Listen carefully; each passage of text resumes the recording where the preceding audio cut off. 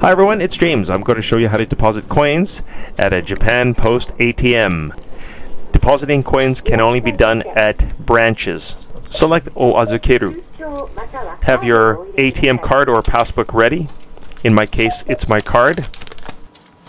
The slot to the right is for cash, the slot to the left is for coins. As you can see, I'm depositing 1,000 yen. You don't have to, it's up to you. There's a maximum of 200 coins at a time.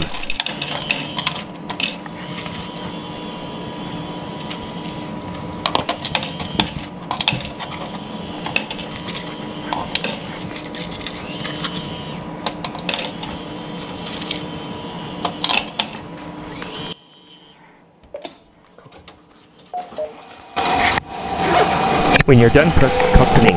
That means confirm.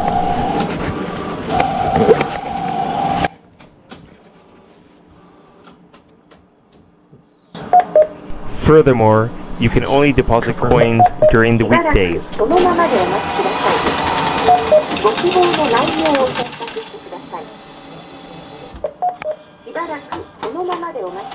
Next, select if you want a receipt or not. In my case, I want one.